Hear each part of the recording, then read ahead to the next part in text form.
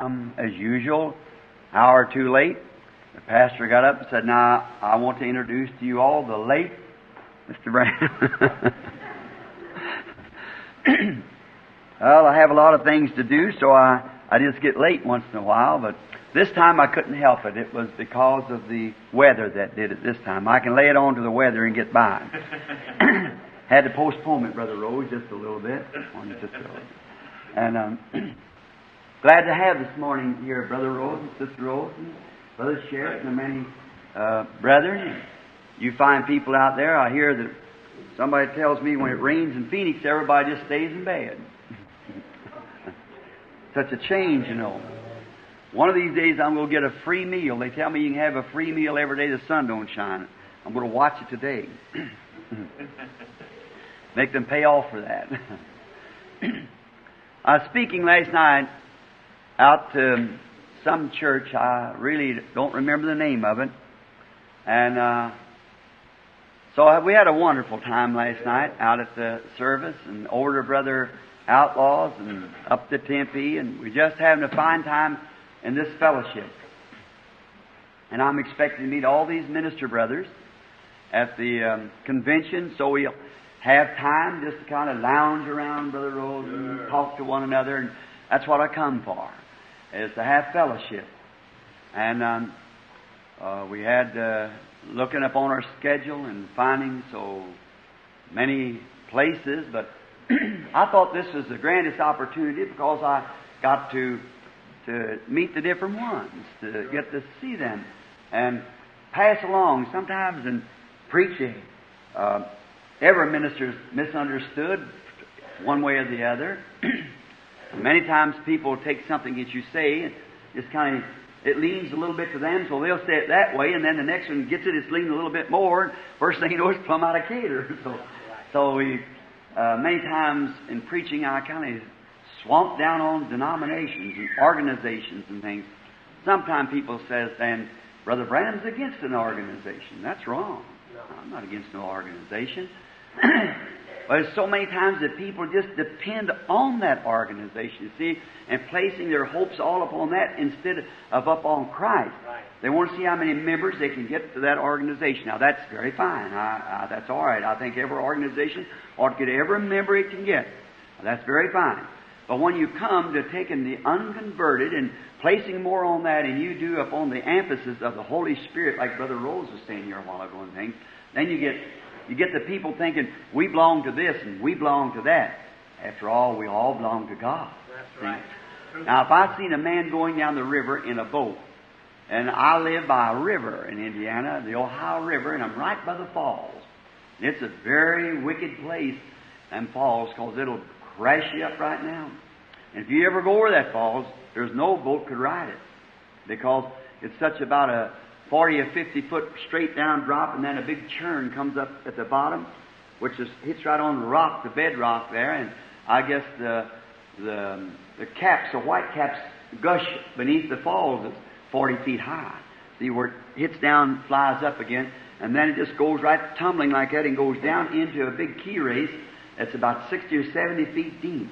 And uh, in there is a whirlpool that whirls it around this way and brings it out and goes down through a channel. There's just no way of ever surviving, you see.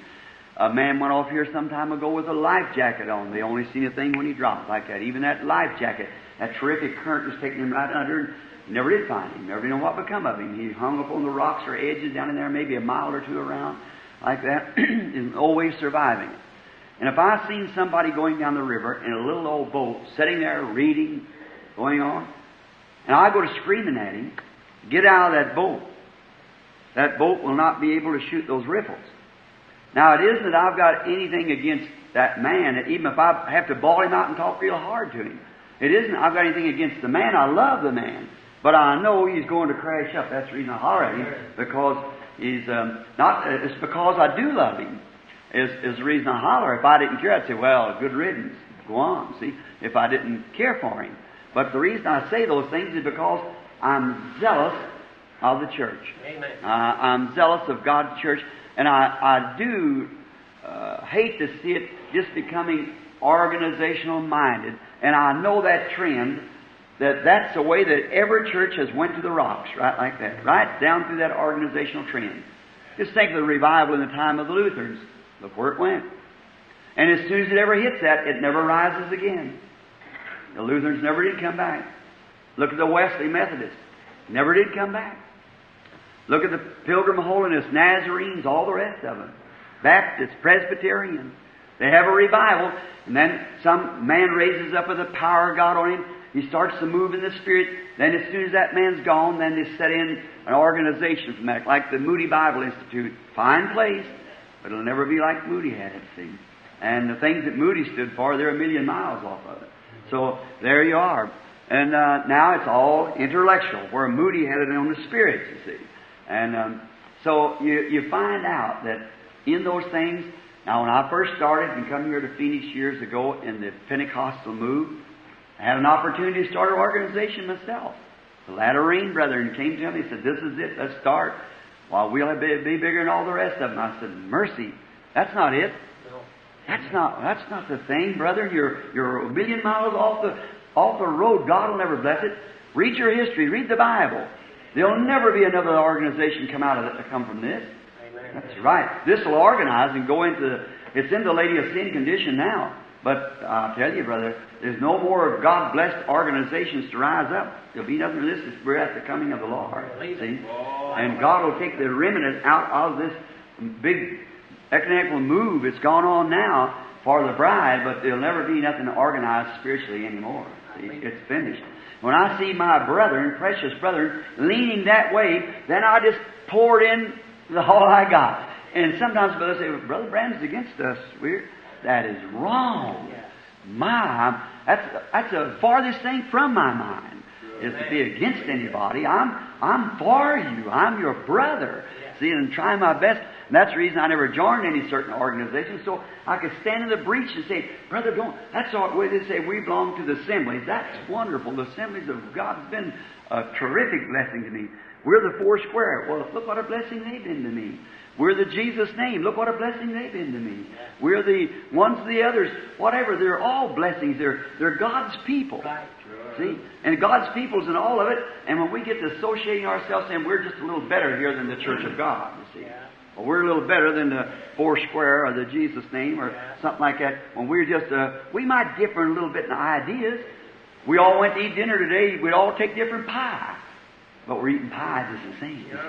That's the idea. So the idea of it is, is if, uh, if we can just see our fellowship, so don't go to leaning towards organization, lean towards Calvary. You become dead to these other things. And I do believe, let me say this while it's on my mind. I do believe that an organization has played a good part. For there's many times, brethren, as bad as we hate to think it, there's been things crop up among us and things like that. It's been heresy, and people would just take those heresies and scatter the people anyway, and a group of brothers get together. That's uh, that I, what I mean, going out like we did in the early days and all kinds of stuff, and and uh, we have it all yet today. Yeah. See, just still a movie, and a people that can uh, bring themselves together. The real picture of Pentecost, in my opinion, when it comes to organization, is the um, the church, uh, Brother Pethrus, the Philadelphia church in Sweden. Now, they don't care what kind of a doctrine you have as long as it's scriptural. If you want to sit this way, that way, or anything, as long as you have fellowship and live a real clean, holy life, there you are. That's good. If you want to say that Jesus coming on a white horse and the other one says he's coming on a white cloud, look for him that way. Just go ahead as long as you live a good, clean life and have fellowship. That's the way. That's it. That's- well, now that's one reason, friend, that I'm with this businessman's group. Because I know there's a lot of things in there ought to be straightened out. But it's the, it's the best that we have. I believe it. That's right. I believe Yeah. it. There's a lot of things that I have to say, and and uh, you, the brethren here, will tell you, I never pull any punches with them. I'm here as God's servant to tell the truth, and I've got to answer for it. That's right, Brother Rose. That's why we like you.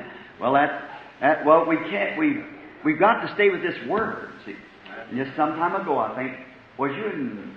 I was overseas or over in the island last year, and uh, they had a meeting, and some of the brethren was bragging about in this great meeting where they had uh, businessmen around the country, and they were speaking about uh, I had a little place down the corner. My business was no good, and uh, I had a horrible time. And the first thing you know, uh, I, I come in to receive Christ, and and oh, I got a, everything now. Now that's good. We appreciate that. That's good. But prosperity don't always mean Christ. That's right. See, and we have to watch that. Now that's good. See, I nothing against that, but I kind of got after the Brother that night when we went down to the motel where we, the group of us staying, and Brother Shakarian and all of us. And I said, well, I said, brother, I, I'm going to tell you. I said, I, I think you brothers are the finest group of men I've ever met in my life. But I said, the thing of it is, I said, I don't belong to any organization, but I do belong to that fellowship with that. I pack a fellowship card with them, the only card I pack. Because it represents all the organizations, you see. And that's what I like. That's what I'm striving for. But I said, the thing that worries me that you, brethren, before those men down there, which are a thousand times more prosperous than you are, and then trying to tell them that Christ is prosperity. Don't ever try to sell them that. See? Don't ever try to compare with the world. Let the world come over on our grounds. Don't go off on their ground. See? See? You go off on their ground, we'll never shine with them. After all, the gospel don't shine, it glows. Hollywood shines. The gospel glows. There's a lot of difference between glowing and shining. And so, now, and uh, I said, the early Pentecostal brethren that had something tried to get rid of it and feed the poor and so forth like that and went out without nothing. See? To preach the gospel, to associate. I said, now we're trying to brag on how much we got. I said, what a difference it is. One precious little brother, after a few moments, he raised up and said to me, he said, Brother Branham, that was one of the greatest mistakes that people ever did. And I said, now look, brother, I wasn't trying to hint for people to sell what they got, but I'm just trying to make a point to these businessmen. He said, that's the greatest mistake that people, I said, they did that by the Holy Spirit. The Holy Spirit told them to do that. The Holy Spirit tells anybody to do anything, you do what He tells you to do. And he said, well, it was a worst mistake the church ever made. I said, why, brother? And right there before the man who had been talking to him. And he said, because as soon as the little fuss come up in the church there, there was a difference between the Greeks and the, and the Hebrews and so forth. Said those people didn't have a place to go. They didn't even have any home to return to. I said, just exactly the will of God. He said, how could that be the will of God? I said, they went everywhere scattering the gospel because they had no place to go. The Holy Ghost don't make any mistakes. It just doesn't do it. That's all. And as I was speaking last night, you just have to take a hold of God and take a hold of His Word and hold right on to it. No matter where it leads, you just keep following it, keep it going like that. But I'm certainly a, a supporter of this um, businessmen's fellowship. Whenever convention that I'm invited to, I always go and speak, say everything that I can. Not just try to make up something to say that would please somebody so and so, but every time when I go to my meetings, I try to study and pray and fast and say, Lord Jesus, what, what could I say that would help that people? Everybody knows I'm not a preacher. I'm not a speaker. I, am anyone knows that. I'm not a preacher. My my message is praying for the sick and so forth like that. But I'm not a preacher. Anybody know that? Hear me preach. But what I do say, I want to put the punch in that'll do something. Not to say, isn't he a, a forceful speaker? Doesn't he use his grammar right? Isn't he wonderful in the pulpit? I don't want that. I, I couldn't do it. God never called me for that. But I'm trying to find something that'll help that person, in that church be a better church. Help it to be a better people. Praying over it. Now, I was kind of talking like this because I've seen a few people still gathering in it raining. That's the reason I was saying these things. Now it's quarter after, and now I want to thank Brother. I've known Brother Fuller for a long time. Always loved him the bottom of my heart. And um, we have a lot of things in common, Brother Fuller. And so we, I've seen Brother Fuller now for many years, and I've known him to be a real, genuine man of God. And I love him. And I'm here this morning to fellowship. So sorry that I missed his night when it was advertised for the place here. But it's something I couldn't help. And uh, I'm glad to be here this morning these church nice, how God has prospered them and blessed them and, and everything that He's done for them. I certainly appreciate that. May God continue to bless him and bless this tabernacle and and the, the board of trustees, deacons, and all the members of the church. May you grow and prosper in the grace of the Lord is my humble prayer. Now, before we approach the Word, let's approach the author first. Let's bow our heads just a moment for prayer. While we sit solemnly now in the presence of God, with our heads and hearts bowed, is there a request in your heart that something that you have need of, that you'd want the Lord to give to you, that I might remember you in my prayer this morning here at the church? Would you just let it be known by raising your hand? Just keep it in your mind what it is. The Lord grant every one of you your request. Gracious and Holy Father God, who created all things through Christ Jesus to His glory, we come into Thy presence this morning with thanksgiving on our hearts.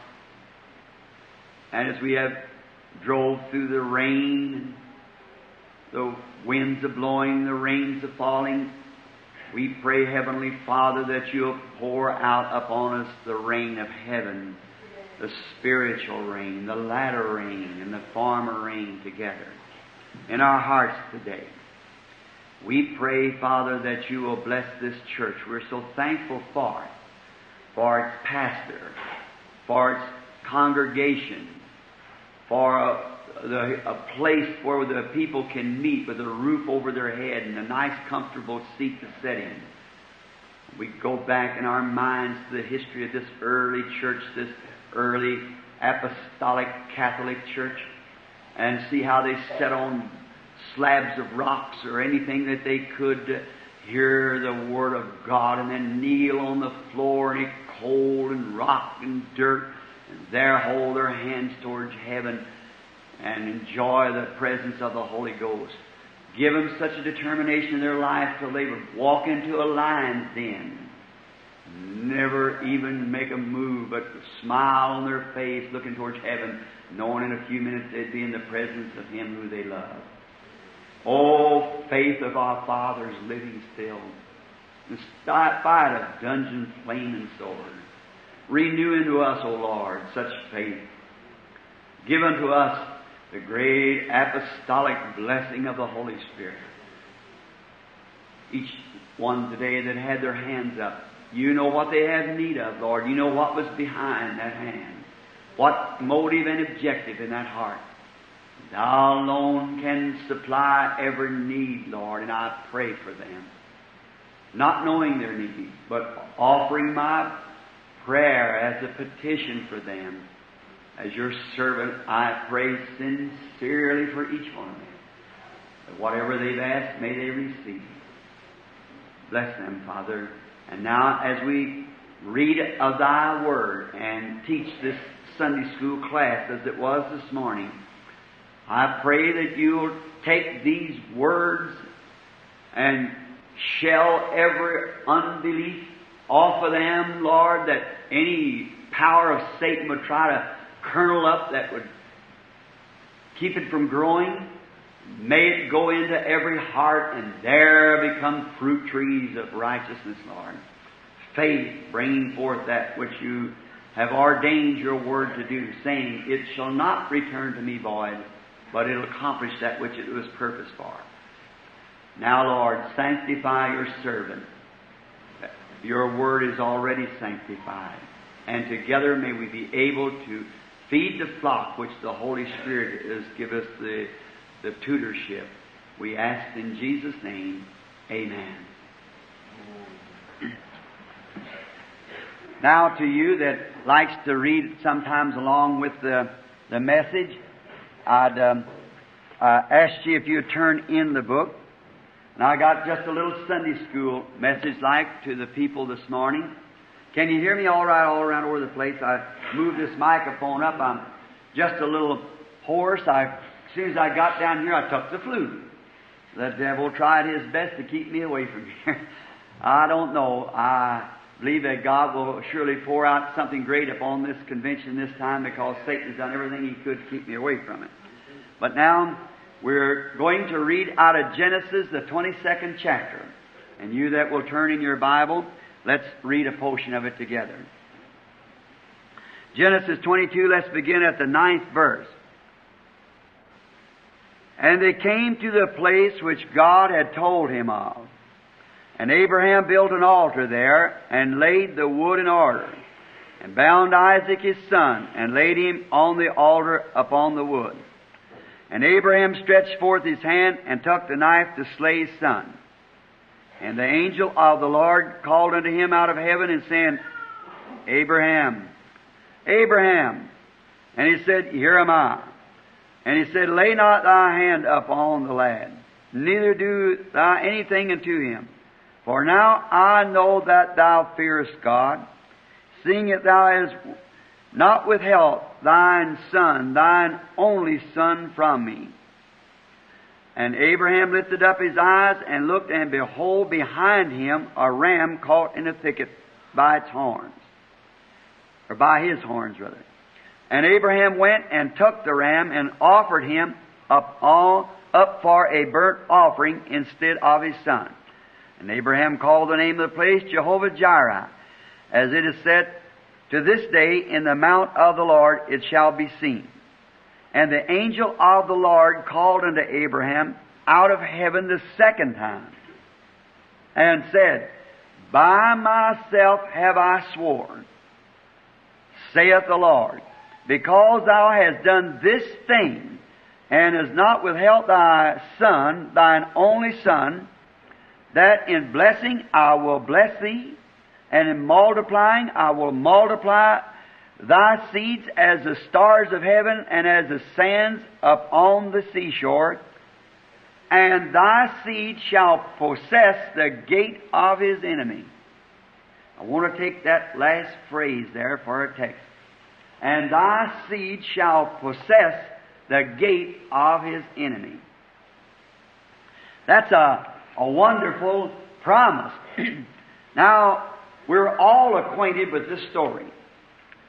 Perhaps read it over and over, time after time, of uh, Abraham and how God called him out of his country and how he was just an ordinary man, nothing special, but God called him and made him a promise. Now, I want you to notice that this promise that God made Abraham wasn't only just to Abraham, but it was to his seed after him. Now, many people says, "Oh, if I'd have been like Abraham, if I would have been where uh, uh, God had talked to me and, and give me the assurance like He did Abraham, then I would have, I, I would really have faith, Brother Branham, if I just had, if God had talked to me like He did Abraham." But you have the same promise that Abraham had. That is, if you are a seed of Abraham. Then you say, but Brother Branham, I'm a Gentile. I could not have the seed of Abraham. The seed of Abraham wasn't the natural seed, it was the spiritual seed. For the circumcision of that was nothing. Uh, the promise he was given before circumcision. But it was given to him before circumcision, and it wasn't because he was circumcised and in the covenant with God that way, is because that Abraham believed God. And the scripture says that when we are dead in Christ, we become Abraham's seed. Paul speaks of it, and that which is Jew is not Jew outwardly, but Jew inwardly. Therefore, if you are born of the Spirit of God, you are Abraham's seed and are heirs with Abraham according to the promise. See? Therefore, every promise that God gave Abraham is yours. Because spiritually, you are Abraham's seed. And you're more of a Jew than uh, you would be if you were born in the Jewish blood and then, um, and then, uh, uh, be an Orthodox Jew in that church and a denier of this precious Holy Spirit and the Lord Jesus Christ. See, you're more of a Jew because you are a Jew that is born of a promise from heaven, which God gave Abraham, and Abraham accepted it by faith, and that's what made him what he was. After all, a Jew is just separation, and uh, crossed over Hebrew, and so forth like that. Now, but when you have separated yourself from the things of the world, crossed over that separating line, and are sojourning in a strange land, a land like you wasn't in in the beginning, uh, with a people that you never associated with in the beginning, then you become a spiritual Jew. Because the same way that Abraham by faith left his country, left his people, went into a strange land with strange people, you have left your people, left the world behind, left your associates behind, crossed over through the blood of Jesus Christ and are sojourners, seeking for a city whose builder and maker is God, like Abraham was. Pilgrims along with him, dwelling in tents, churches, fellow citizens of the kingdom of heaven, heirs of all things through Jesus Christ. See? We have crossed over, separated. Now, Abraham, promise is made to Abraham and his seed after him.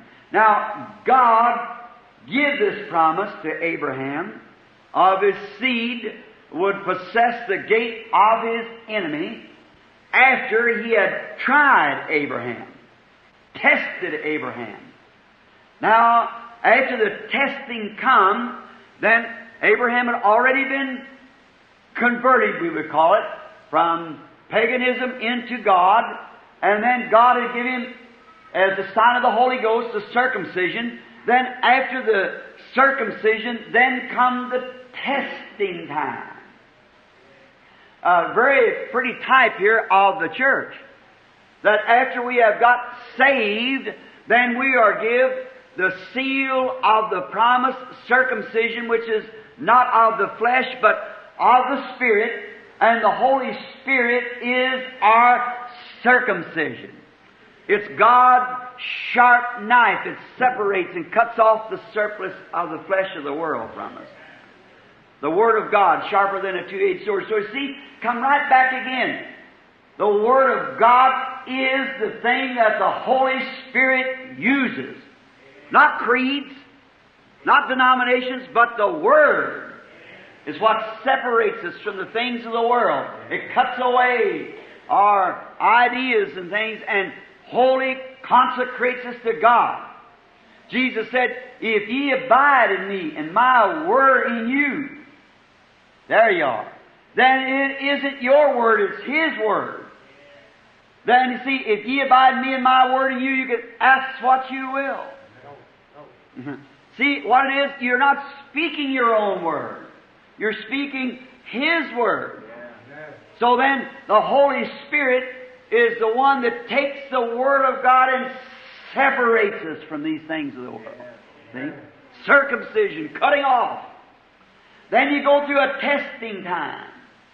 Now, Abraham, after he is called out of the land of the Chaldeans, the city of Ur, he become a pilgrim, a sojourner. And then God called him after he had been uh, proven that he was going to go on and take God at His word. Then, what God did then was give him a sign that He had accepted him. And He circumcised him. And He circumcised uh, Ishmael and all of his household. And now, you see, when, it, when you are called out, first you go through a trial to see if you're going to really go on. And then God gives you the Holy Ghost, which is the sign that He has accepted your faith that you profess to have in Him. You follow me now? He's going to accept it. Now, I was talking to there may be some precious Baptist brethren sitting here. And everyone knows that I come out of a Baptist church. Now, I was talking to my Baptist brother, and he said to me, Brother Branham, uh, he was a doctor of divinity, a fine man, real Christian. He said, but Brother Branham, where do you get that baptism of the Holy Spirit being anything different than faith in Christ Jesus? I said, it is different, my precious brother. He said, don't you think that when you receive Christ, you receive the Holy Spirit? I said, correctly. But I said, you see, you're only professing that you have received Christ until he recognizes it. He said, Brother Branham, Abraham believed God, and it was imputed unto him for righteousness. I said, Yes, but God gave him a sign that he had received his faith when he gave him the seal of circumcision, that he had recognized his faith. Amen. Hallelujah. Now, when we receive Christ as our Savior, then if we're sincere in that, then God gives us a sign that He has received our faith in Christ by giving us the seal of circumcision, which is the Holy Ghost. That's a seal of circumcision. Grieve not the Holy Spirit of God, whereby you're sealed to the day of your redemption. Not to the next meeting, but to the day of your redemption. That's right. Ephesians 4.30. Now, that's how we receive the Holy Ghost.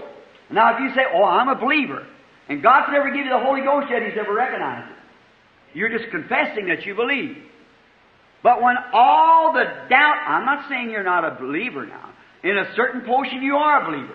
But when God has found favor, you found favor with Him, rather, and He recognizes you to be His child, and He knows your heart, and He sees your sincerity, He knows all things are cut away from you, then He seals you into the kingdom of God by the Holy Ghost, proving to the world that He has accepted what faith you profess to have in Him.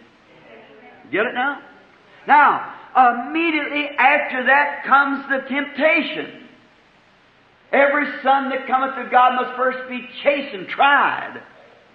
Jesus, as soon as he received the fullness of the Spirit on the river when John baptized him, immediately the devil took him into the wilderness to go through a time of temptation.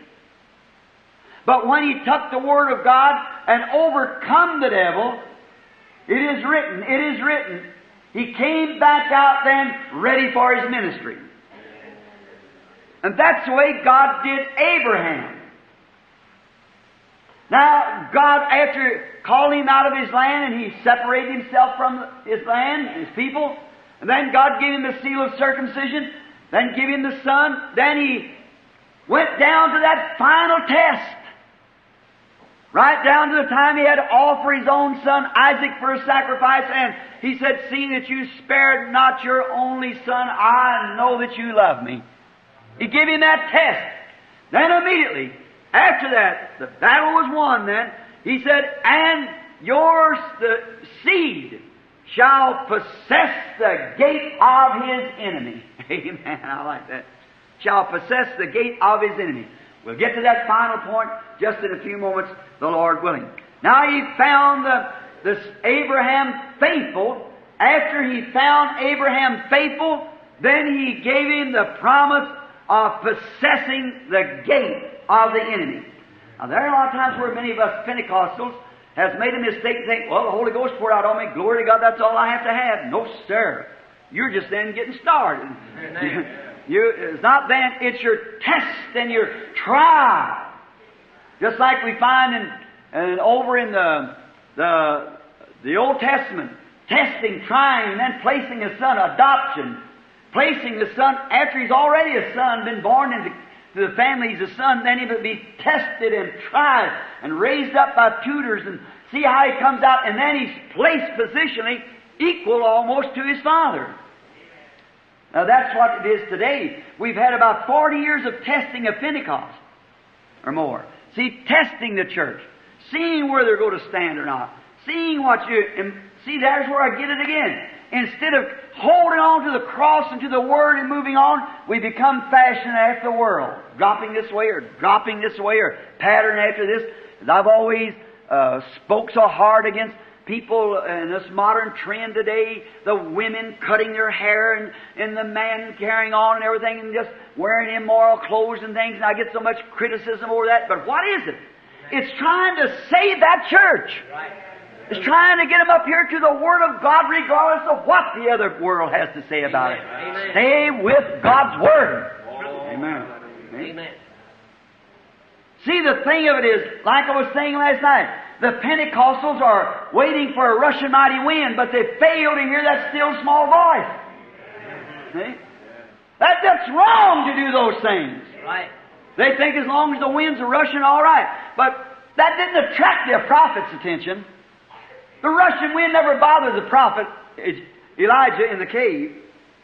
The mighty thunders and lightnings and pouring down never attracted him all, but what a startled him was that still small voice. That's something speaking with inside. My word is truth. Let every man's word be a lie, mine be true. That's what attracted the prophet.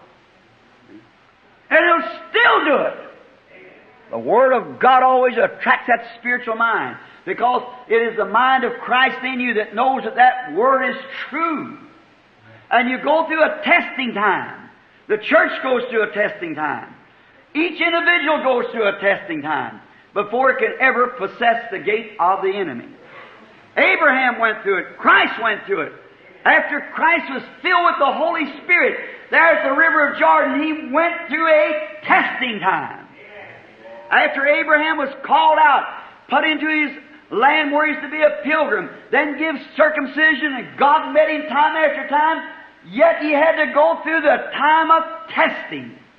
Every seed of Abraham does the same thing. Abraham and his seed. An organization, a church. That's the reason we find our organizations falling by the wayside. Is because when it comes to the test, what test? God's Word. There's the test. God's Word is the test. Will we do what a bunch of man says do, or will we do what God says do? That's the difference. Mm-hmm. There come.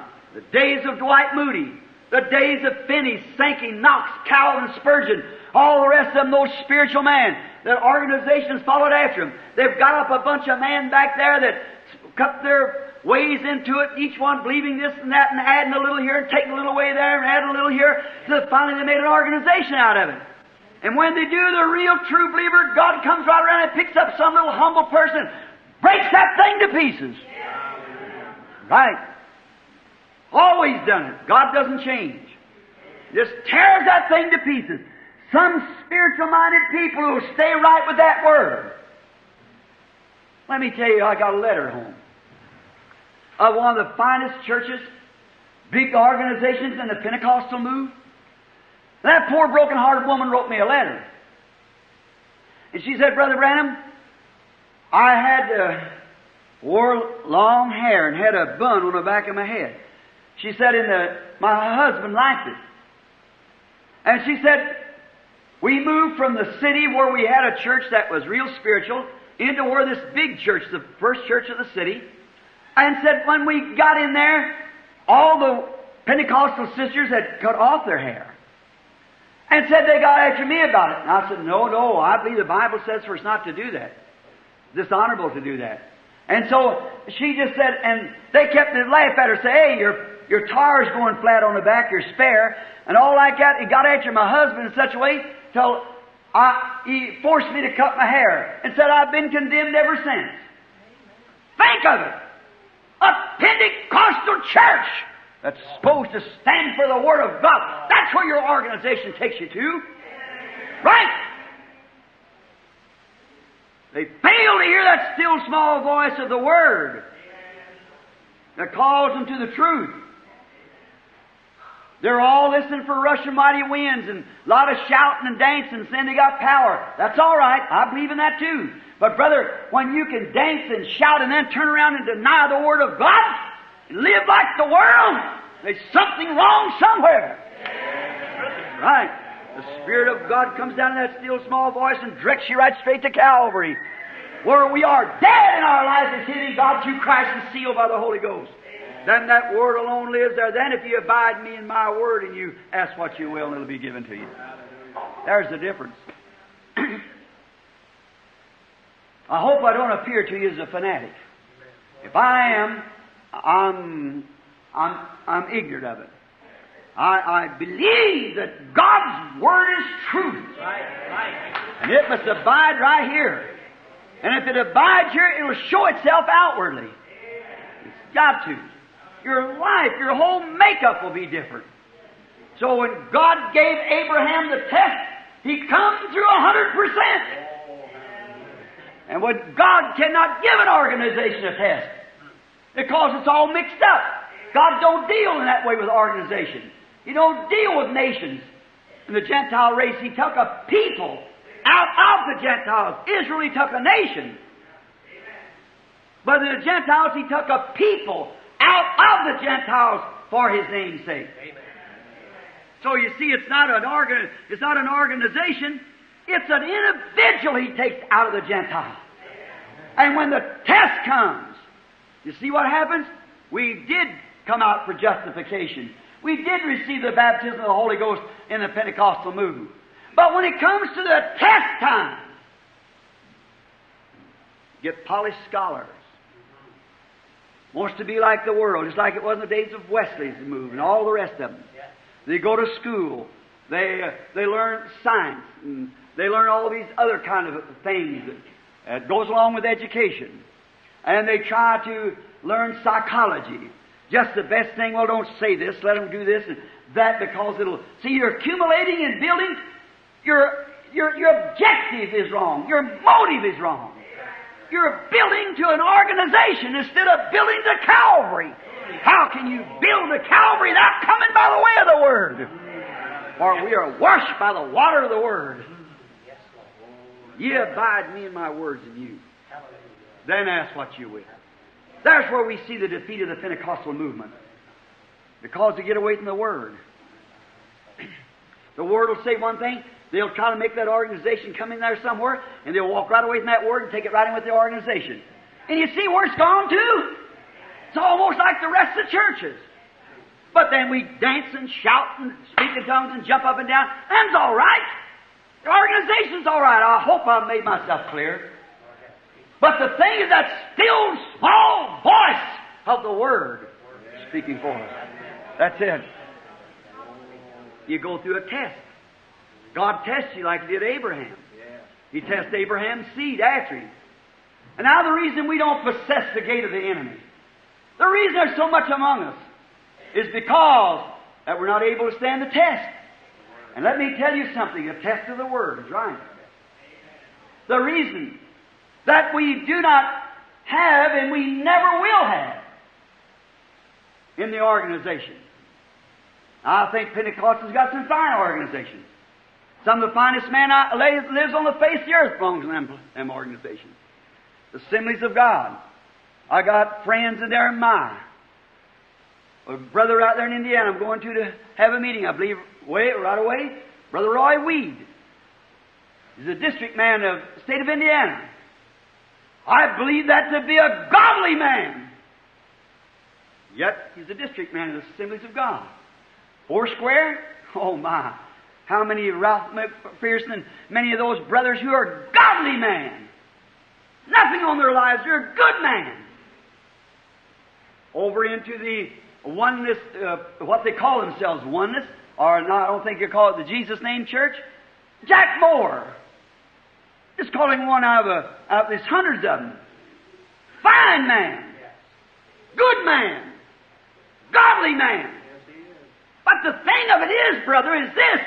When you hang to that organization, see, God takes those organizations and, and they're everyone fallen. Look at them. Worldliness creeping in. Look at their women, look at their men, look at their conditions. I can point you assemblies of God. People have got deacons on their board that's married two or three times. Preachers carrying on. Women with their hair cut, wearing shorts, makeup, and still professing to have the Holy On the evidence of speaking in tongues or jumping up and down or shouting. They fail that still small voice of the Word. That Word keeps you bound to the cross. That's where it lays. That's why we don't have genuine prophets in the church today like Agabus. That's why the church today, they, they hardly respect speaking in tongues when somebody speaks. Because he heard so much bogus and carry on, so he don't know what is right and wrong in them. Interpretations are just merely illusions. Somebody just saying something because he feels led. That's not interpretation. Interpretation, that's somebody standing and speaking tongues, another get up in a few minutes and interpret what he said. When one's a speaking, the other's interpreting right there, saying word by word, same expression, everything the same. This man might be prophesying, but it is interpretation. Some of them, uh, this kind of a voice giving something, this back here giving something else, and some say ten words, and others say fifty words behind it for an interpretation. Interpret means to say word by word. If it's a word of God, it's got to come word by word. Line upon line, line upon line. That's the way the word's got to come. But what have we seen so much bogus? And they did that in order, instead of staying with the word, they put that down there. As soon as a man did that, they called him a Pentecostal. And you know what happens? When the test comes, the testing time, then the seed begins, it shows which is seed and which is not. Now, regardless of what took place, Abraham stayed with the word, the promise. But today the organization can't do that. And some of you precious brothers that belong to those organizations, you disagree with them once. You know where you're going. How many of you, and I don't say in this building now, but how many has been in my study? How many has been with me said, Brother Branham, we know that's the truth, but if we're kicked out here, what are we going to do? Brother, what are we going to do? Hang to Calvary, hang to the promise, hang to the cross, regardless. And over in there, they got some of the finest men. See, but what I'm trying to do is to say that has got to fail. It always has failed, it always will fail. But it's whether you fail or not with God. Keep God's Word and His promise first. You'll be tested by it. You'll sign papers that you'll do this or do that. Even against the Word, you'll still sign it. That's right. In your heart, you know it's wrong. That's that still small voice speaking. That Word. No wonder we can't move on because what something's happened. You separate yourself from that still small voice. You run out too quick. God was calling you, but you run out too quick because the thunders roared, the lightning flashed, the mountains shook. It never moved Elijah, that prophet. He wanted that voice first. He said, I'll lay right here. So many of today start off healing services, carnal comparisons, all kinds of things and sensations that never even appeared in the Word of God. That's right. What is it? We ought to sing that song, They That Wait Upon the Lord. Let me humble my pride and call on your name. Let me wait, Lord, till I hear that still small voice. And that voice will be a scriptural voice. It'll speak exactly with the Word. Hey. All right. Found Abraham after he had been put, called out, separated from his loved ones, from his family, from his home for his kindred, into a strange land. By faith he did that. Then because he did it, God gave him circumcision to prove that he was God's son. And he believed in him because he's believing the promise. Yet he couldn't, he didn't see it natural, but he professed anything contrary to God's word was a lie. No matter how much evidence come up, it's still a lie. I hate to say this, but I'm going to have to. Look, and when you take women, I'll say for one thing that's visible conceit, that claim to have the Holy Ghost and not decent enough to leave their hair grow, there's something wrong somewhere. A woman that'll put on a garment that pertains to a man and wear it when the Bible says it's an abomination to a to God for a woman to wear a garment pertains to a man, and then you claim to have the Holy Ghost and do that? I spoke on that one day in Oregon. There's a woman wrote me a great big letter. She said, Brother Branham, you got a wonderful ministry, but you're sure ruining it. she said, Now what about, said, I wear overalls all the time. Said, what about going out in the garden to pick some, some garden and with a dress on? Don't you think it look much better with the overalls on than it would be, or dungarees or what it is, uh, uh, and have a dress on? And said, Look, I ride up into the mountains with the boys when they go up to herd the cattle. And said, I get in a mosquito invested area. Said now with the, with the dress on, they'd eat me up. With overalls, they don't bother me. I said, that's thinner than the broth made out of a shadow of a chicken that starved to death. Mercy, I ain't got one word of God about that. That's your own opinion. God said that every word be a lie and His be true. My wife wears dress she picks in the garden. She has no trouble about it. And anyhow, a woman ain't got no business with a bunch of men out there herding up cattle anyhow. She ought to be in the kitchen where she belongs. That's right. They're just trying to find an excuse, but there's none. God's word's plain. And a woman that's born of the Spirit of God, and a man that's born to the Spirit of God won't let his wife act like that. What did he say? She take, cuts her hair dishonors her head, and her husband is her head. She's dishonorable. I better shut up. All right. Now, seed. Seed. That's enough to you know what I'm talking about. I don't say that through malice. If I say that through malice, God have mercy on my sinful heart. Let me get out here this altar and repent. I'm saying it because, friends, I love you. And I'm trying to tell you what's the truth, and that's God's Word. We got to hear that small voice of God to measure up to the Word. We're going through a time of testing. Hallelujah. Did you realize that after that testing time come, that tutorship of that son that was born into a denominational family? If he stood the test and remained with the father's desire, then that boy was taken out and uh, he was put on a garment. And then uh, there's a ceremony said. And that boy was placed then into the family to which he was born in. That's what's the matter with our Pentecostals today. They just jump here and there and our organizations and pull them this way and that way. They don't stay with the Word. If you'll stay with the Word, then God, seeing if ye abide me in my Word and you, his, He cannot uh, deny it. It's His Word. Then there'll be a time sometime where you'll be taken out and set aside and be given something that's genuine. Hallelujah. Power of the Almighty God, which God's waiting for His children. But they just won't line up. When they come to that testing time, will you accept it? Uh, well, the church will put me out. All right, there you are. They go, that's not Abraham's seed. Abraham's seed doesn't act like that. Abraham's seed, now I don't care what come contrary to Abraham, he stayed right with that word of promise. Just stayed right with it.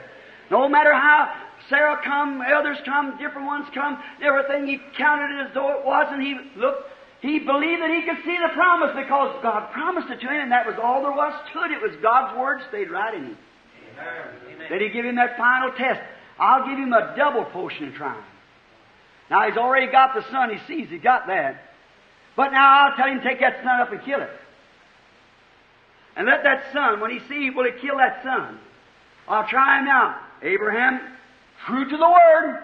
How, when you receive the promise, how are you going to stop the thing? How, how are you going to, how are you going to ever expect to be a father of nations? And here you are, 115 years old now. Abraham, little Isaac, about 14, 15 years old.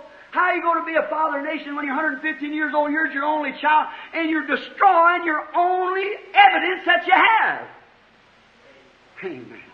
How am I going to make it if I get out of my organization? How am I going to make it if I do this? Oh, listen to that still small voice that comes with the Word.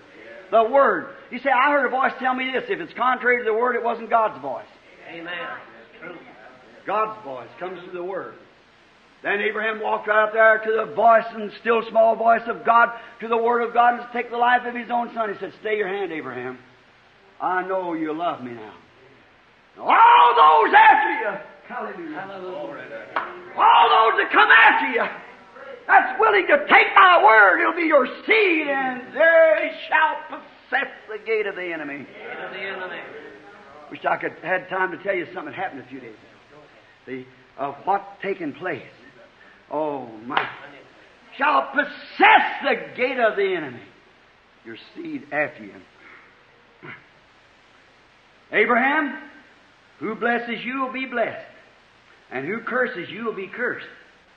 Jesus said, It is better for a millstone to be hanged at your neck and to drown in the depths of the sea.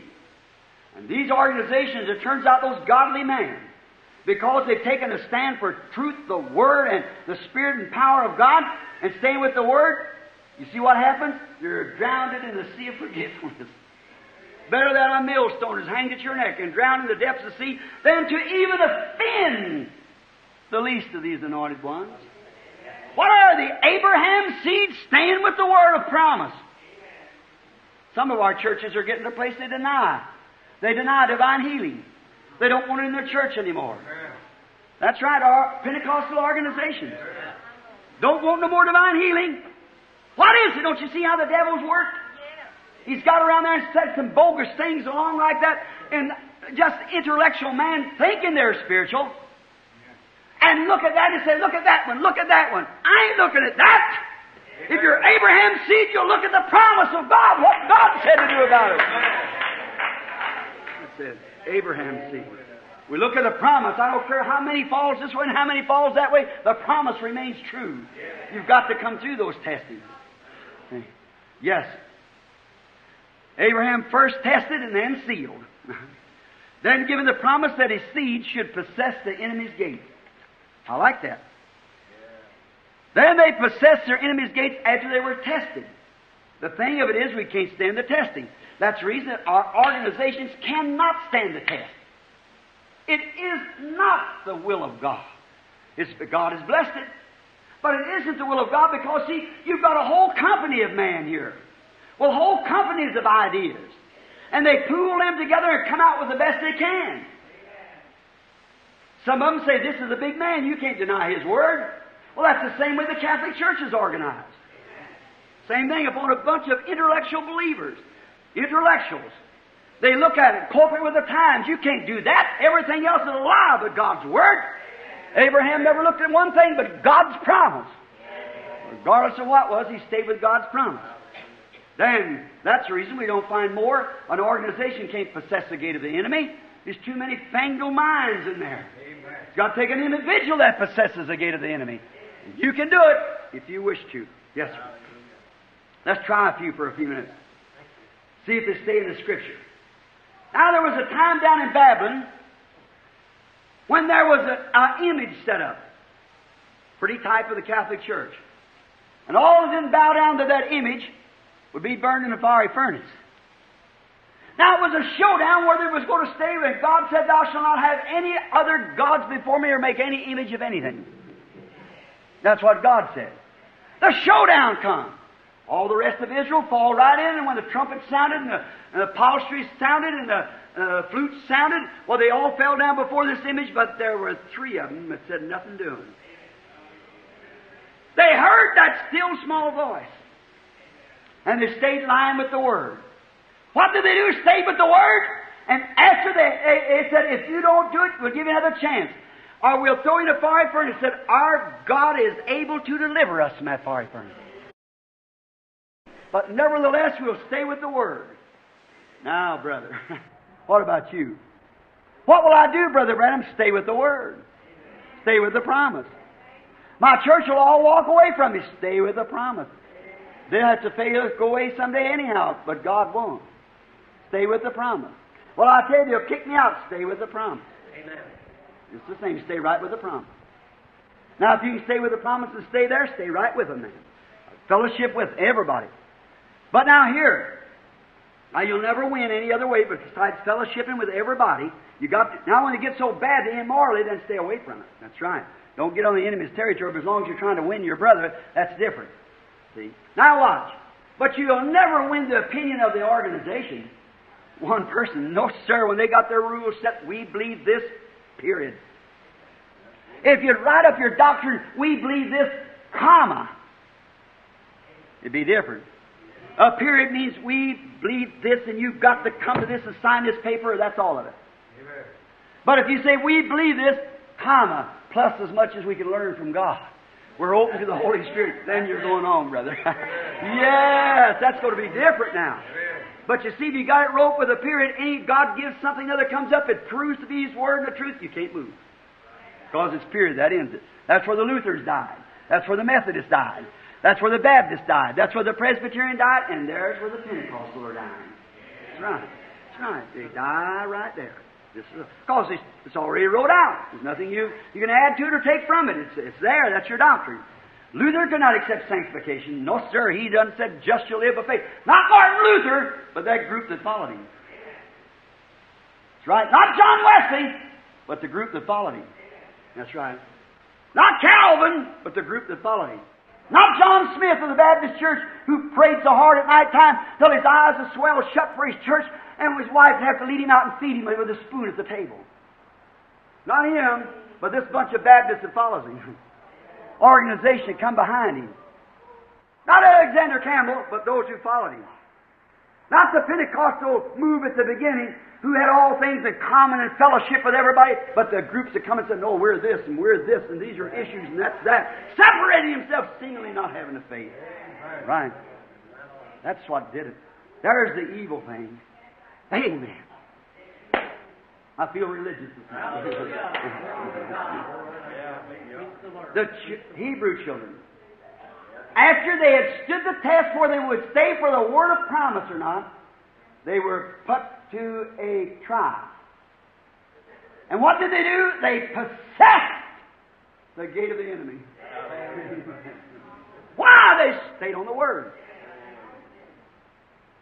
Stay with the Word, that voice of God that speaks to you. Now, all reason says, now look, Babylon, it wouldn't be no different because we, when we bow before this image, we're worshiping God anyhow. Well, if we do it this way, we mean it this way, do it the way God said it. What if God said to Moses, Take off your shoes, Moses, you're on holy ground? He'd say, Thank you, Lord. I sure believe in you. I'll just take off my hat and sit. It's too much trouble to unlace my shoe. it would never work. He said, Shoe. He didn't say hat. Right. Got to come line by line. What God says and line up with His Word. Now, after they had had the test, they possessed the gate of the enemy of fire. They found out when they went right down to the end, staying on God's Word, they possessed the gate. That's right. After Daniel, there had been a proclamation went forth and signed by the Medes or Persians that could not be changed. That if anybody prayed to any other God, let him be thrown into the lion's den. And Daniel knew that God's word was to pray to him only.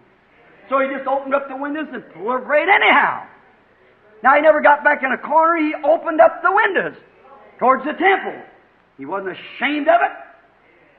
We don't want to practice our religion on Sunday and Monday do something else or believe in our heart one thing, come before somebody else and say, well, I don't know. I, I, yeah, I think you're right. Be what you are. You're not, get out of the pulpit, get out of the church. That's right. Because you're an impediment to both. Say what you are, say what you believe. Then you have nothing to back up from. You're standing just exactly what's true. Everybody knows your colors. Man will appreciate you. Any man. A woman might be as ugly as all get out. She might be big, fat, little, skinny, black-headed, brown-eyed, blue-eyed, gray-eyed, one one way and one the other. But if that woman is clean, lady, then a man in the country will ought to take off his hat to him. He's got an ounce of him. Right? Because she's, she produces what she is. And man appreciate it. So God appreciate a man that'll be what he is, or a man that professes Christianity. Let's be a Christian, filled with the Holy Ghost, with the Word of God, or forget about it. Right. Because otherwise you become hypocrisy, living a different life, and people seem to run out here to dances and smoking and things like that and claiming to be a Christian, then see you put a stumbling block in the other's way. See you women sometimes how they cut their hair and dress and act in these little uh, dresses don't look like a skin down weenie or something, going out there on the street walking around, uh, heels about that high, mincing down the street.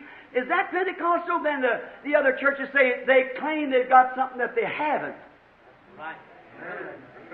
You are sealed and marked by the Holy Ghost.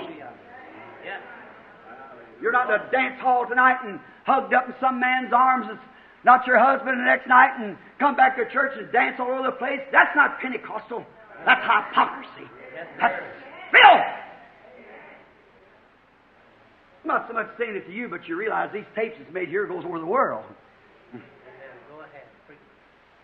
So I just preach like this to the whole world. When I feel God saying, say something, you just say it, because I don't know where it's going to. That's up to Him to take care of that. Just stay with the Word. That's right. All right. No, Daniel would not bow down to their proclamation, whether he stowed out of the organization or not. He stayed right at the window and stayed with the Word of God. He wasn't ashamed of it. What happened? They threw him into a lion's den, but he possessed the gates of the lion's den. Why? Glory! Glory to God. Because that God said his your seed shall possess the gate of the enemy. Or what the enemy is, you've got the gate. Oh, how many times can we look at Moses following in the line of God's commandments? Went out into Egypt. Looked like everything was contrary. He had some impersonators that went with him. He went out with a couple of uh, signs to show that he was sent. Throw down a serpent and so forth like that, and here come the impersonators along, throw theirs down. What could he do? Nothing. God never told him he was going to do that. He wanted to test Moses. He was the one who permitted Jannes and Jambres to throw down their serpents or their rods. So there stood Moses in the line of duty. Throw down his rod. It turned into a snake and said, Look at that, Pharaoh. That's what my Lord told me to come do before you. Pharaoh said, Come here, Jannes and Jambres. They threw their rods down. They turned into snakes. What was Moses did? Was his face red? No, sir. You still believe God sent him. He stayed with that promise, and what happened? That's when you're before the some of your conference meetings. Your face might turn red a little bit. Stay with the Word. What happened? All at once, this big cobra of Moses come around and swallowed them up.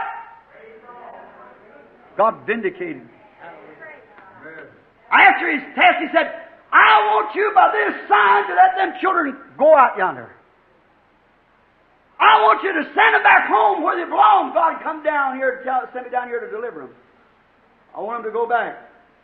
You throw that down there, oh, the test comes. Moses, what are you going to do? Turn around, walk away, and say, well, I might have been wrong. No, sir, Moses stood right there. God commissioned this. Glory. God says anything, stay with it. No matter what takes place, stay with it. If they put you out and say we won't cooperate, won't do this, stay with it. Moses stayed right with it. What happened? He possessed the gate of his enemy. Hallelujah. The devil said, I'll stretch the Dead Sea in front of you. But it opened up. They couldn't keep him in Egypt no longer. He possessed the gate of the enemy. Why? Because he stayed with the commission God gave him. The commandments of God, he stayed with God's word. And he possessed the gate of the enemy. Joshua, after he went through a test, he had been down there, probably swam across Jordan, him and Caleb, with the spies. When he come back up from the Jordan, they got up to Kadesh Barnea. And all of them said, Oh, if we start that, it'll break our organizations to pieces. We just can't go. That spirit don't die. Oh, we can't have that. If we teach that to our people, uh, what would we do? We'd take half the deacons in the church out. They're married twice, three times. What would we do with, what, if we told our women they had to wear long hair? You know what they'd do? They'd leave the church. And what would we do? What would we consider old fashioned? Jesus is old fashioned too. We can't do that. We can't do that. It's too much for us. You know what a borderline believer gets to? Hebrews, the sixth chapter, explains that. He which was once enlightened, been made partakers of the Holy Ghost, then fall away to renew himself again. He come to that borderline and refused to go over. That's it. Refused to completely believe. Because what did Caleb do? What did Joshua do? He said, We're more than able to take it. Why? They stayed with what God promised. Well, they said, that mother said, Well, they're giants. They got all walled in there this way. Oh, we couldn't touch them in no way. Joshua said, We're more than able to do it. Quiet you people. Shut up. Sit down. I tell you, faith is a great big thing when it comes on the Word of God. He's not afraid then. Face got hairs on the chest, big muscles. It says, shut up! Everything else scoots to the corner. That's right, when God speaks. Ye abide me in my words, and you say what you will. There you are. Oh, I like that. Mm. Devils will tremble and sinners awake. Faith in Jehovah will anything shake. How can you have faith when you know you're not working, walking in His Word? When you know these things are that you ought to say and you don't say it. These things are you ought to teach and you don't teach it. There's things there that you can't say. And how can you have faith when you know you're wrong? If our heart condemn us not, there you are. There you are. But stay with our word where there's nothing condemned. There's no condemnation of them that's in Christ Jesus that walk not after the flesh, but after the Spirit. The Spirit leads with the Word. Because the Spirit can only come out of the Word because His Word is Spirit. And it can only, the real true Spirit of God can only speak the Word of God. Oh, my, my. Get away, world. Satan, leave us. Don't be afraid to say to this mountain, be moved. Say it! Stay there and watch her crumble. That's right. But you got any condemnation there, you better, better keep still. You're just babbling now. You're not saying the truth. You're not saying the things that you should say. All right. We find out then that Joshua, after he went through that test, he'd seen the evidence of a good land. And he stood there at Kadesh Barnea and complained against all of them and said, We're more than able to take it. We can take it. What was the idea? Cross over. What was Moses' idea? Show this sign and bring the children out. And looked like it failed. But he stayed with the word, and the gate of the Dead Sea cannot hold him. He went right on to it. He possessed the gate of the enemy. Joshua, looking at the promise of God, said we are more than able to take it. That's right. And when he come down to the Jordan, what did she do? She gave away. That's it. He possessed the gate of the enemy. That Jordan was keeping him back from going over and taking that promise. But when he got down there, he was a seed of Abraham.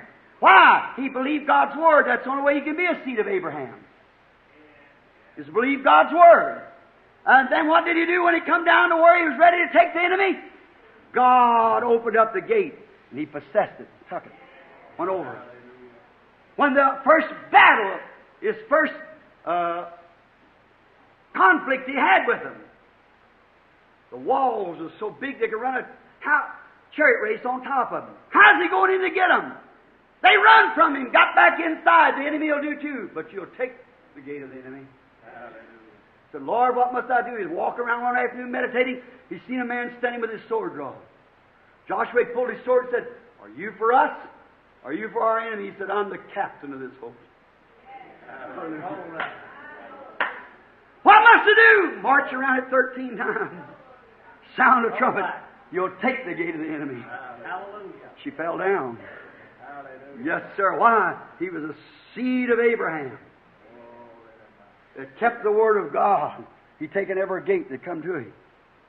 Certainly. It's getting late. I got to quit. Look, all these precious heroes. Got a page full of them wrote down here. But all these precious heroes, the things that they did, they finally died. But then come the real faith seed, the royal seed of Abraham. Jesus. A promise. Abraham had Isaac, true, after the flesh.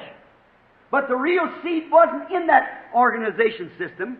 It was in that promise of God's Word. That He'd make him a father of nations, not through Isaac, but through the royal seed, Jesus. That was a royal seed, which actually the seed of Abraham, Jesus was not a Jew. Neither was he a Gentile. He was God. See, the, you Catholics, sure, bless your heart. But when you worship Mary as a goddess, what's the matter with you anyhow? Mary wasn't nothing but a woman. God chose her, she's an incubator. That's all an incubator, that's what a woman is. But she's associated with the seed of the man. But it's a mixed audience, but I've got to say this so you'll understand what I'm talking about. Now you listen to your, your doctor, and I'm your brother. Surely you can. Mary had no pollen in Christ. There was no sexual feeling when the Holy Ghost overshadowed her. Not a bit. But God Almighty, the Creator, created the blood cell and the pollen. If it was pollen from Mary, then the dead rise not. Glory! That just come fresh. I just caught that.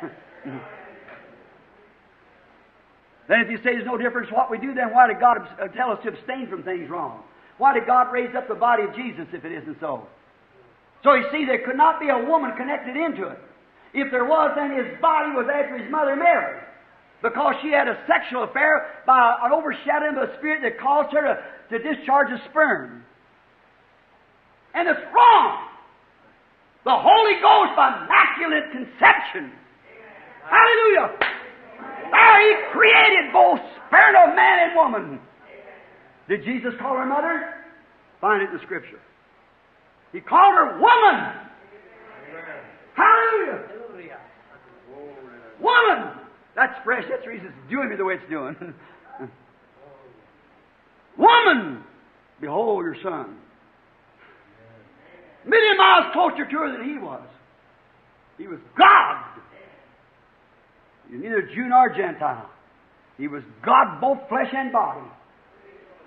God dwelling in him. God dwelling in the sperm of a woman couldn't do it. That sperm of the woman had to have something to do with our flesh. But it was the blood plus the sperm that God overshadowed. He could put it on the stump if He wanted to. Amen. Yes, sir. He could put it anywhere He wanted to. But He brought it because of woman being in the fall.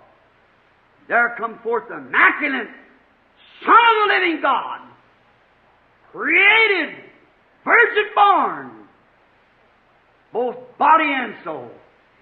Why did David say, I will not see my holy, uh, let my Holy One see corruption? My Holy One see corruption, neither will I leave his soul in hell. David said that.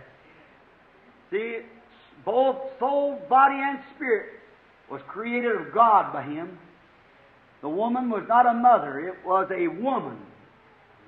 I believe she's a good holy woman, absolutely. She had never been an incubator. God would have never chosen an old dirty incubator. Lord willing, I'm preaching on that tonight.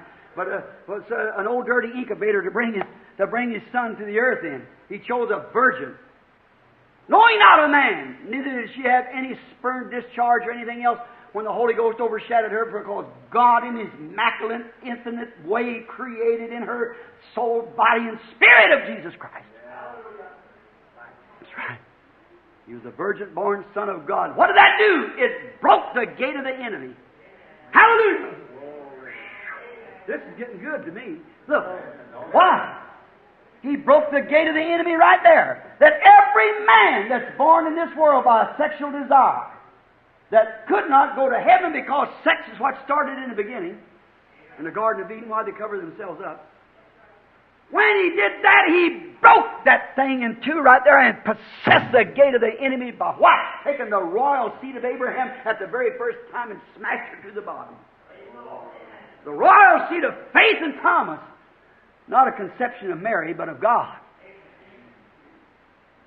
Broke the gates. That's lets a human being pass through the gate. Glory to God.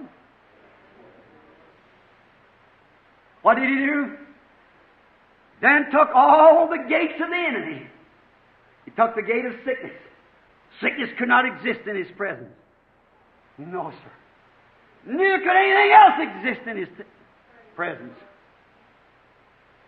A funeral procession could not stand in his presence.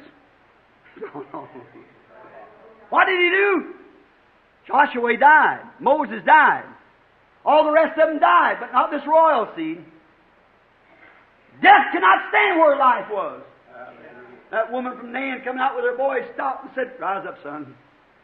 That girl that was dead, Jairus' daughter, he spoke a word back at her into the unknown world out there and said, Daughter, arise! Lazarus dead four days and his body rocked. And his soul been away from it for four days. He said, Lazarus, come forth. Glory.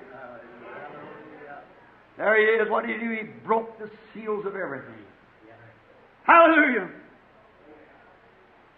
When he had to die, then he could not hold that life. He'd have never died. But he had to give that life, and when he gave that life, he died a death. And his precious soul, as the Bible said, descended into hell to take my place in your place. the royal seed of Abraham. The what? He was the royal seed. Oh. Glory! Now we are the royal seed. What? To stay with the Word. like you are. For in the beginning was the Word, and the Word was with God, and the Word made flesh and dwelt among us. Don't you see where the royal seed lies? The royal seed is that stays with the Word. You weaklings that's willing to compromise with the devil, with his fashions of the world. I'm not speaking to you. Out there, you preachers that knows that you preach the days of miracles is past. You preach there's no such a thing as the baptism of the Holy Ghost. Shame on you! And call yourself the seed of Abraham. The royal seed stays with the Word. Royal seed, not born by man, nothing to do with man or woman. The woman is the church, nothing to do with the church. Mary had nothing to do with the seed. Neither has the church, so called organization, got anything to do with the seed. It's born of what? Not of an organization. Not Methodist, Baptist, Presbyterian, Catholic, Lutheran, and so forth.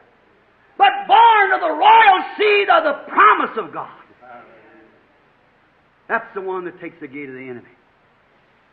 It's already been tucked for him. For if ye abide in me and my word in you, ask what you will. It'll be done for you. There you are. It's the promise. It's already done. His precious soul descended into hell, where I ought to win. But on that third day, Samson taking the gate of the city on his back had nothing to do with it. He took the gates of hell, the gates of the grave, and everything else. He didn't pack it up on the mountain, but he destroyed it. Hallelujah! He possessed the gate of the enemy. The atmospheres that was filled with the devil's power above, that angels or nothing could come down. There could not be no intercession because the blood of goats would not take away sin, but his own blood took away sin. And he ascended on high. Led captive captive and give gifts unto man. Now, every one of Abraham's seed that's willing to pay the price, to come down and repent of their sins, be baptized in the name of Jesus Christ for the remission of your sins, refilled with the Holy Ghost, and stand the test. And when you get the world out of here, the things that's gone, everything that's wrong, everything that seems wrong, like the women with their hair, the men with their carrying on, and the churches with their organizations, and the and the uh, pastor that'll cater to his deacons, and and all those kind of things. Some worldly bunch of something that'll get in there and cause a poor pastor, kick him out of the church. Go on, pastor. God bless you. Stay right with the word. Take no. You send it on high. What do you do? You cut a hole, a gate. That's a prayer of this seed of Abraham. Why? Why? If we be the body of Christ, if we are dead, we reckon ourselves dead and buried in Christ and raised with Him in resurrection. He is the head of the body. Where the head is, the body's with it. And then this morning, where every one that did that is seated with Him in heavenly places with the royal seed. Praise God. No gates. You can't pray this far and say, oh, there's a word. Uh-uh, it closes you off right there. But if our heart condemneth not, if we know that we're walking in the commandments of God, we see our lives cleaned up, we see that every word that God commanded, we keep it, then the gates of every enemy is possessed. Then ask what you will, and it'll be done for you. He shall possess the gate of his enemy. Oh, brother, what a church that would be. When I come back again to Phoenix, if the Lord permits me, I hope when I walk into this tabernacle that these pews will be lined. And every pew in the full gospel movement in this city will be lined with saints of the living God. Look like Christians, talk like Christians, act like Christians, with the Spirit of God moving among them, where if one would sin, the Holy Spirit call it out right then. It'll do it. You sit in the prayer lines if you're on the altar, where say you go back there and make that right with your husband. Go tell your wife that you was out night before last, that woman sitting on a certain, certain place. If it'll do it, yes! By walking in the Word, listen to that still small voice, it'll do it in you. You're Abraham's seed. Then no sin. Preacher, wouldn't you like to see that in your church? Walk in this church, look down along through here, see both men and women, godly, saintly, sitting there just charged with the power of God. Sin cannot walk in. A man walk in and sit down, the Spirit raise up and say, John Jones, he come from so and so city, a certain certain place. He's sure to find healing for his body. See, he did a certain thing at a certain place. He did this. He take, has to take this back and make this right. Then God will heal him of that cancer. Thus saith the Lord. Give me a church. Give me ten men, pure, really jewels of God, the royal seed. Put them men together and watch what will take place. Give me this little house full of people like that, and I'll show you a light that the world will run to it. Right. That's what God wants us to be. Your city sitting on a hill. Your royal seed of Abraham. It shall possess the gate of its enemy. Sickness, there's a cause for sickness. There's a cause for these things. And God, the Holy Spirit, is sure to reveal that thing. To tell you why you don't get it. What's the matter with it? We don't have to wonder, will it do it? It's already doing it. What do you do? What's that prophet? He listens not to the rushing wind. Glory to God, hallelujah. That's good. Now remember, I'm not condemning that. I hope everybody understands that. Somebody said, Brother Branham, don't believe in saying glory to God, hallelujah. Well, look at me up here now.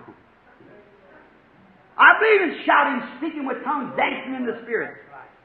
But, brother, when you fail to hear that still small voice of the Word, that's the thing that gets you. That's the thing.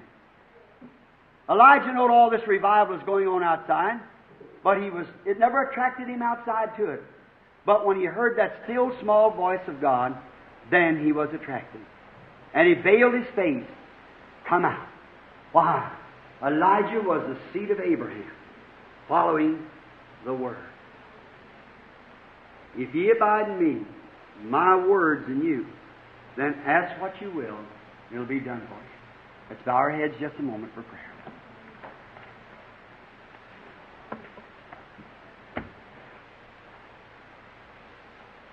Oh, church. Now, when I get through preaching like that, how I feel. The Spirit drops away from me, and I look back. I see people that would actually go down in their pocket and take food from their children to give it to them. I see little women here, maybe with short hair. What would they do? They'd do anything in the world for me that they could. Man living with a wife like that, and he just cut him to pieces for that word. Hurting. Conscience has dropped down. And yet that man would go out there and slave and spend his time. Right.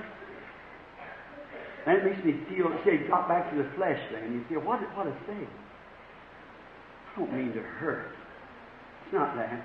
But oh, brother, my darling little sister and brother, if that be God's Word, and this be His Spirit making that Word come to life to you, what will it be at the day of the judgment? I'm trying to get you ready for that day. Please, please just take His Word. If I ever preach anything that's not the Word, a promise of God, then you got a right to come to me. But that's the Word. And it's because I love you. It isn't because I'm, I, I don't want you in the boat. It's because the boat won't pack you through. You're going to crash up one of these days, you got to come to judgment. Guilty as the least is guilty as the whole. And when you know anything is right to do it, and it's the Word of God and a promise to do it, and then you don't do it, then what about it? You'll be asked to give a reason. What then? When this message this morning faces you yonder on the screen at the day of judgment, what about it? Think of it, friends. You may die before the day's over. All of us, and one thing sure, you're going to die. I stood the other day watching my mother, me holding her on my arm. I helped my dad a little before that and watch him go. I've seen them come down the end of the road who thought they were really all right. The old Brother Branham. Oh, if I could only live a little longer. Too late then. And remember, death doesn't change the soul. It only changes its dwelling place. And if you see that something within you, be reasonable now. If you see that something within you is making you act that way and feel that way like you ought not to feel, repent this morning, will you, friend? Come be, you don't have to be like that. You're a miserable person. Live a true royal seed life. God wants you today. Will you raise your hand while your head's bowed and heart? Say, Brother Branham, I raise my hand to God. Honestly, from my heart, that's what I want to be. That's really what I want to be. I've, I've got messed up out here and everything else, but really, I, I want to be like that. I want to be what you've been talking about this morning. Pray for me, Brother Branham. I'm raising my hands to God, not to you, Brother Branham, but to God. And in my heart, He knows my heart. I long to be the kind of Christian you're talking about, a royal seed of Abraham through Jesus Christ. Raise your hand now and say, I'll pray for you, Brother Branham. God bless you. God bless you. Surely He'll do it for you.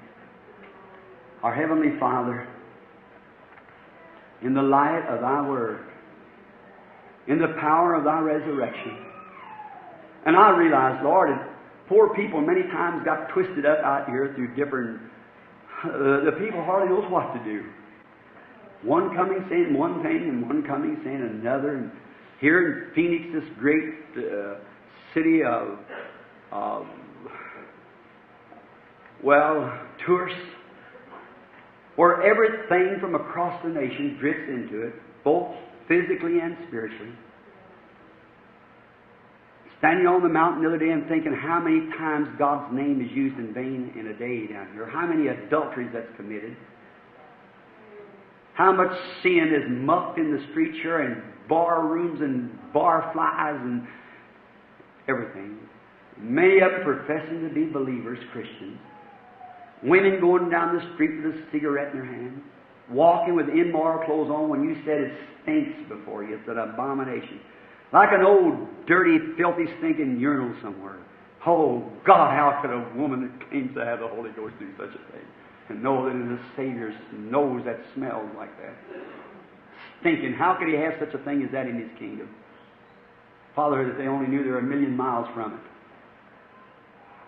I pray, God, have mercy. No one wants to go to that regions of the lost. No one wants to go down there, Father. Far be it from any of us going. Yet down in there is a good heart in that person, that man, that woman. A man or woman that's charitable and nice and kind. And has just been deceived by the devil. The devil done that. Satan, I'm against you because you're an enemy of my Lord. You're an enemy of His Word. And I charge thee by Jesus Christ, the Son of God, as a mortal being, knowing that I have no power within myself. I haven't power to stop you. I haven't power to make any of these women clean up, any of these men that's listening to this tape or, or wherever. I have no way of making them clean up. I'm powerless. But I do have the authority of God's Word as a servant to preach it and duty bound to that authority. Neither this policeman out here have power to stop a car, but he has authority to do it. Satan, you might as well go squeaking your brakes. Because I charge thee by Jesus Christ that you turn these people loose throughout the world, wherever this message may go. Turn them loose. I claim them that they are bought, they're not their own. They're bought with the price of the royal seed of Abraham, the Lord Jesus. Thou filthy, dirty, stinking hypocrite, deceiver of man, leading them blindly into the ditches of hell. Turn them loose. I charge thee by the living God, by the sacrifice of His Son Jesus, that you turn them loose, that their souls may be charged with His blessing and with His presence, that they might possess the gate of every enemy. You've got them waiting for this, that, or the other, or some holy touch or something else. But I'm saying you are going to lose your hope. How could sickness stand in an anointing like this? Only when they refused to look down at the promise like Father Abraham did, when he could see him in a figure hundreds of years away coming. Turn them loose. In the name of Jesus Christ, let them people go. May the power of God, the understanding of the Word, as they're washed this morning by it, may the understanding of keeping God's Word and His promises true, a hope that cannot be broken by Satan. May each one lay a hold of that promise. Say, This is it. I'm holding to it. God made the promise. I'm the seed of Abraham. How can I doubt His promise? Move right on. Through Jesus Christ our Lord. Amen.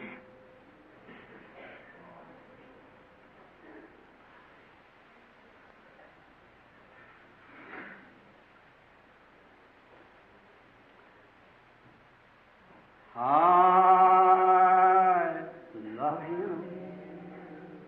It's been cutting this morning, friends. Let's worship now sweetly. Because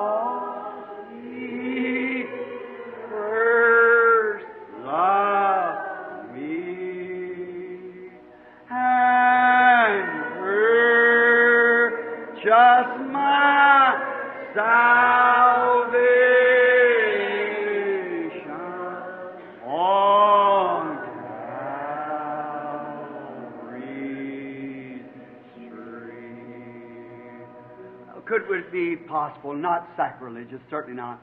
This is, a, is religious. Let's raise our hands to Him we love and say, I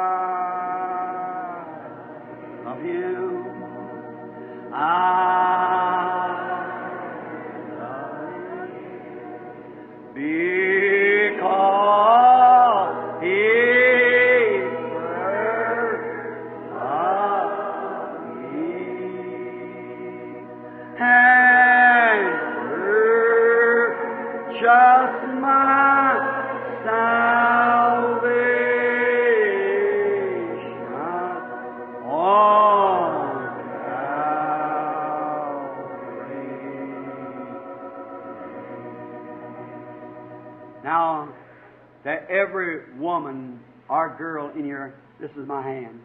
God love you. To every man or boy in here, God love you. I love you. Now, I can't reach out and get each one of your hands, but God expressed to you what I mean. While we sing that again, just turn around, shake hands with somebody. This will all men know that you're my disciples when you have love one for the other. I